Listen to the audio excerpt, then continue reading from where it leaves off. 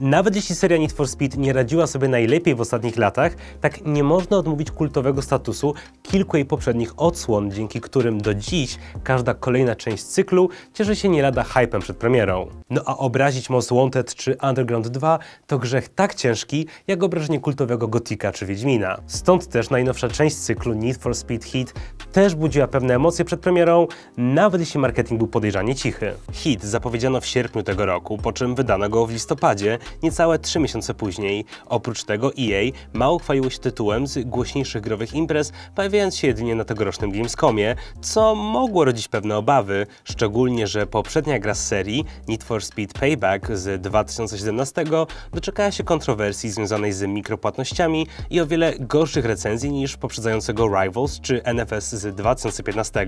A gdyby tego było mało, tak niepokój odnośnie słabej promocji nowej gry elektroników podsycał fakt, że w tym roku ma miejsce 25-lecie serii, które aż prosi się o jakieś huczniejsze uczczenie marki. Na szczęście albo nieszczęście fanów, Need for Speed Hit to tytuł poprawny. Kilka rzeczy robi dobrze, kilka już mniej i nie jest to jakaś większa rewolucja. Od można zagrać, ale są na rynku tytuły, które robią to o wiele lepiej. Tylko, że nowy Need for Speed ma jeden bardzo fajny pomysł, który w przyszłości po lepszym dopracowaniu może się przyczynić do rewolucji, której ta seria potrzebuje. Oto historia pewnej mechaniki, która sprawiła, że nagle znowu zaczęły mnie obchodzić gry wyścigowe.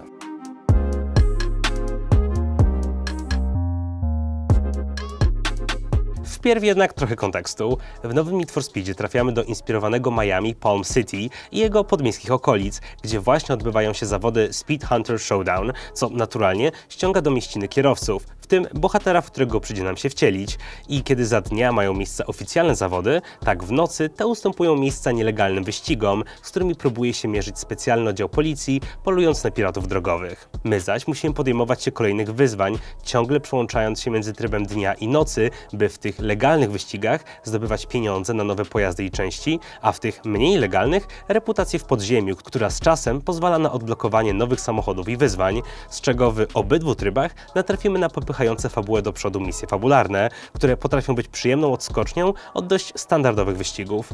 Nie wspominając już o drobnych wyzwaniach i znajdźkach, jak chociażby billboardy do rozwalenia niczym z Burnout Paradise, graffiti, które po odnalezieniu mogą posłużyć za wzory do upiększenia samochodu, czy typowe dla serii próby prędkości w formie fotoradaru w otwartym świecie. Gra jest więc rozbita na dwa tryby, które z racji na swoją specyfikę zdają się uderzać w różne gusta fanów serii. Za dnia mamy bardziej standardowe wyścigi niczym w Pro Street, w nocy zaś klimaty bardziej Most Wanted, a przynajmniej tak w dużym skrócie. Co jednak szczególnie istotne, to ten nocny tryb wychodzi przed szereg z ciekawą mechaniką hazardu własnymi punktami doświadczenia, która to mechanika z marszu okazuje się najciekawszym elementem tego tytułu, który po kilku godzinach okazuje się być niesłusznie pokrzywdzony przez zły balans i problem z poziomem trudności oraz pewne hamskie sztuczki gry. Za każdy nocny wyścig możemy dostać pewną pulę punktów doświadczenia, zaś gdy noc dobiegnie końca, my bezpiecznie wrócimy do kryjówki, gra zliczy właśnie zdobyte punkty i doda do naszego poziomu. Jest jednak pewien haczyk, bo jeśli przed powrotem zostaniemy złapani przez policję, stracimy wszystkie punkty zdobyte tej nocy. No cóż, więc pozostaje uważać na policję i chować się po każdym wyścigu? No właśnie, że nie, bo wraz z zainteresowaniem policji wzrasta poziom jej agresywności, tzw. Tak obławy, który oprócz tego służy jako mnożnik nabijanych punktów. Jeśli więc wrócimy do bazy po kilku ciężkich pościgach z wysokim poziomem zainteresowania policją, nasza reputacja może skoczyć nawet o kilka poziomów w górę. Albo, co równie prawdopodobne, możemy stracić wszystkie nabite punkty, bo wyjeżdżając z bazy nocą musimy się liczyć z tym, że mamy ograniczony poziom zdrowia pojazdu, a podreperować się na stacji możemy tylko trzy razy w trakcie takiego segmentu. Nasz recenzent na gry online przyrównał to do strefy mroku z The Division, gdzie wraz ze wzrostem nagrody wzrasta też ryzyko, ale w moim przypadku skojarzenie jest bardziej z Dark Soulsami, gdzie kolejne nasze sukcesy napełniają nas pewnością siebie, która ostatecznie może prowadzić do zguby i porażki, ale te wcale nie zniechęcają do zabawy. I mimo, że w Need for Speed Hit kilkukrotnie dałem się złapać, przez to straciłem czas i nabyte punkty doświadczenia, to wcale się nie frustrowałem, wręcz przeciwnie, tym bardziej chciało mi się grać dalej, bo jest w tym wszystkim coś szalenie uzależniającego i wciągającego. Nieraz o mały włos udało mi się uciec na trzecim z pięciu poziomów obławy, by potem, z nie satysfakcją, oglądać jak gra zlicza i mnoży właśnie nabite punkty, po czym robiłem sobie krótką przerwę, by za dnia na legalu zarobić trochę pieniędzy, zupgrade'ować oraz upiększyć samochód i ponownie wyruszyć na nocne pościgi. I nawet jeśli już udało mi się zebrać pokaźną pulę punktów reputacji, a zainteresowanie policji zachęcało do powrotu, padałem ofiarą syndromu jeszcze jednego wyścigu. Idzie mi przecież tak dobrze, więc dlaczego przestawać teraz? Powtarzałem sobie w duchu, popadając w destrukcyjne schematy myślowe typowe dla uzależnionego hazardzisty i typowe dla moich przygód z sosami właśnie, gdzie mimo braku potionów i z tysiącami dusz na koncie, odkładałem często powrót do ogniska, by odwiedzić jeszcze jeden zakamarek właśnie odkrytej lokacji. Problem w tym, że deweloperzy posunęli się do kilku decyzji, a raczej kilku strzałów w stopę, byśmy w tym nocnym trybie nie bawili się za dobrze. Wróćmy na chwilę do pierwszego Most Wanted. Choć i tu ważnym elementem zabawy było ścieranie się z policją, tak z odpowiednim skillem i strategią, nawet z ciężkich starć dało się wyjść zwycięsko, bo mogliśmy w miarę skutecznie pozbyć się pościgu, korzystając z m.in. różnych pułapek. W hit niestety nie ma co liczyć na takie udogodnienia, a na pewnym poziomie obławy jesteśmy wprost skazani na porażkę. Policja nie dość, że jest bardzo mocna, a niszczenie radiowozów poprzez zderzanie się z nimi zwyczajnie się nie opłaca w większości przypadków, tak pościg jest często po prostu zbyt trudny do zgubienia, w czym nie pomaga fakt, że gra nieraz nas oszukuje, spawnując radiowozy tam, gdzie być ich nie powinno, czy każąc nas bardzo krótkim licznikiem czasu do złapania, nawet jeśli jesteśmy w ruchu. Czytaj, zrobiliśmy ostry zakręt, manewrujemy między radiowozami, rozpędzamy się i już mamy uciec, kiedy nagle surowy licznik czasu do złapania stwierdza, że jednak nie, powinniśmy zostać aresztowani. I takie drobne oszustwa towarzyszą nam też w tym dziennym trybie, gdzie tak zwany rubber banding jest powszechnym widokiem. Ale wróćmy jeszcze do trybu nocnego. To zrozumiałe, że twórcy stosują różne sztuczki, by nie szło nam za dobrze i by nie dało się zaburzyć naturalnego przebiegu postępów. Gra powinna wszak być skonstruowana tak, by nie była zbyt łatwa i by gracze nie mogli znaleźć łatwego sposobu na to, by drastycznie skrócić planowany czas zabawy. Ale i też wyzwanie powinno być sprawiedliwie dopasowane i przestrzegać jasnych zasad, tak żebyśmy niezależnie od poziomu trudności wiedzieli, że to jest do zrobienia ostatecznie, tylko będzie wymagało odpowiednich starań i podejścia.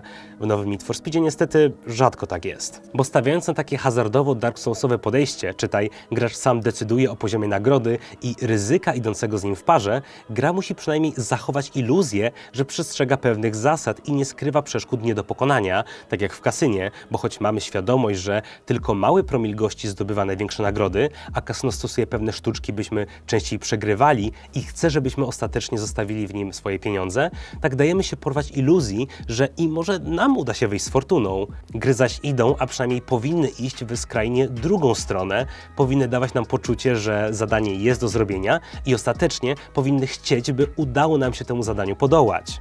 A tak, już po 5 godzinach z hitem wiem, że na pewnym poziomie obławy zwyczajnie nie mam szans ze względu na hamskie sztuczki gry i nie mogę expić zbyt dużo, by nie przejść za szybko i nie ominąć grindu. Hazard wewnątrz gry ma pewne ograniczenia i zwyczajnie nie opłaca się ryzykować powyżej pewnego poziomu, bo następująca po nim ucieczka przed policją szybko zaczyna być bardziej irytująca niż ekscytująca. I tym bardziej szkoda mi tego nocnego trybu, bo jeśli weźmiemy jeszcze pod uwagę to, że pościg policji może zacząć się w trakcie wyścigu, a ta może poprzeszkadzać tym, którzy nas wyprzedzają, tak ukazuje się przed nami mechanika, która po odpowiednim doszlifowaniu może w przyszłości posłużyć za solidny fundament o wiele lepszej odsłony. Bo ogólnie to hit jest produktem bardzo zwyczajnym. Jeśli chodzi o temat ścigałek w otwartym świecie, nie ma tu wiele więcej niż to, czego byśmy już nie widzieli wcześniej i zrobionego o wiele lepiej u konkurencji. Owszem, tuning jest zdecydowanie lepszy niż Payback, bo poroniony pomysł kart zastąpiono odblokowywaniem prawdziwych części. Tak oprócz tego, te standardowe wyścigi są często mało różnorodne i nieciekawe, a opcjonalnych rzeczy zwyczajnie nie chciało mi się robić, bo chociażby takie rozwalanie billboardów nie jest już tak ciekawe jak powiedzmy 10 lat temu w Burnaucie. Poza tym też, choć mi osobiście przypada do gustu bardziej zręcznościowy model jazdy, tak ten obecny tutaj bywa często bardzo zero-jedynkowy i nieraz można odnieść wrażenie, że kolejnymi nabywanymi pojazdami jeździ się zbyt podobnie. Na pewno nie jest to tak dopracowane jak chociażby w Forzie Horizon 4 i jak donoszą lepiej obeznani w temacie, nie jest to tytuł dla miłośników grania na kierownicy. Swoją drogą, skoro mowa już o Forzie, to w nowym Need for Speedzie zabrakło mi możliwości cofania czasu, bo nieraz durny błąd w parze z wrednym rubber bandingiem sprawiły, że musiałem resetować wyścig ledwie paręset metrów przed metą, co szczególnie dało mi się we znaki w fabularnych misjach, gdzie bardzo często zwyczajnie musimy być pierwsi. Z minusów mógłbym też wymienić samą ścieżkę dźwiękową, bo choć nocna playlista pełna elektroniki, techno, dubstepów, mumble rapu czy bardziej popowego brzmienia idealnie pasują do nocnych widoków rozświetlanych przez paletę pstrokatych neonów i wywołujących prawdziwy orgazm oczu efektów mokrego asfaltu, w którym odbijają się uliczne światła, tak dzienna ścieżka dźwiękowa jest już bardziej monotematyczna, pełna brzmień, które mogę nazwać latynoskim disco polo. I tak wiem, Miami, taki klimat palmy i tak dalej, ale to wszystko zwyczajnie zlewa się w jedną biedną audiokupę i powoduje pewien dysonans, kiedy wyruszamy za miasto w bardziej zwyczajne podmiejskie ulice. No, nie wiem jak dla Was, ale dla mnie siłą gier wyścigowych często była właśnie ścieżka dźwiękowa, jak na przykład w Burnaucie czy pierwszym Most Wanted, gdzie okazjonalne rockowe i metalowe brzmienia dawały tym grom pamiętnego charakteru i playlist, gdzie każdy mógł znaleźć coś dla siebie. A tutaj co zrobić? W ostateczności zawsze zostaje nam Spotify. A skoro mowa o oprawie i o tym, jak gra wygląda, to muszę pochwalić kilka naprawdę dobrych widoków i samą konstrukcję miasta, nawet jeśli to często świeci pustkami. I choć ogólnie bawiłem się całkiem dobrze przez parę godzin z tytułem, tak ostatecznie gra odepchnęła mnie od siebie i zaczęła nudzić, kiedy do zabawy wdarł się grind i okazało się, że te fajne pomysły, które ma do zaoferowania, nie są w stanie w pełni osiągnąć swojego potencjału.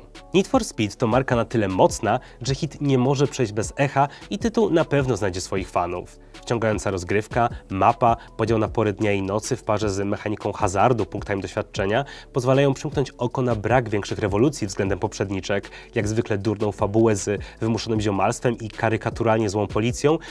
Tak, mam. Tak, panie władzo! Oraz liczne problemy balansu, poziomu trudności i chamskich sztuczek gry. Czytaj faktycznie takie 6,5-7 na 10, jak sugeruje meta, a przynajmniej takie mam wrażenie po pierwszych godzinach. Jest ok, jest miejscami dobrze, ale ogólnie mogło być o wiele lepiej i nie trudno oprzeć się wrażeniu, że EA zrobiło tą grę tak trochę od niechcenia, bo co dwa lata przecież trzeba wydać kolejnego Need for Speeda, bo te gry nadal świetnie się sprzedają. Kiedy zaś deweloper Ghost Games miał kilka fajnych pomysłów i szczerych chęci, ale zgaduję, w realizacji tychże przeszkodził budżet i czas, jaki mieli na produkcję. A tak być nie musi. Jak dla niedzielnego fana serii tego gatunku, czuję, że w nowych pomysłach tego tytułu drzemie potencjał i hit mógł choć trochę dorównać kultowym częściom pokroju Underground 2 czy Most Wanted i pierwsza z od dawna faktycznie chciałem się w to grać, na przynajmniej do czasu i nie musiałem się tak zmuszać jak w poprzedniej części. Nowy Need for Speed jest o wiele lepszy niż biedny Payback, ma kilka naprawdę fajnych pomysłów i seria zdaje się wraca na właściwe tory, nawet jeśli tylko jedną nogą. Szkoda tylko, że zabrakło tu jakiegoś takiego przytupu, odpowiedniego dopracowania i rewolucji, której ta seria ewidentnie potrzebuje. I kto wie, może kolejny Need for Speed już na next genach osiągnie wreszcie poziom kultowości najlepszych części tego cyklu, jeśli będzie odważny w tym co robi i będzie dalej rozwijał nowe pomysły.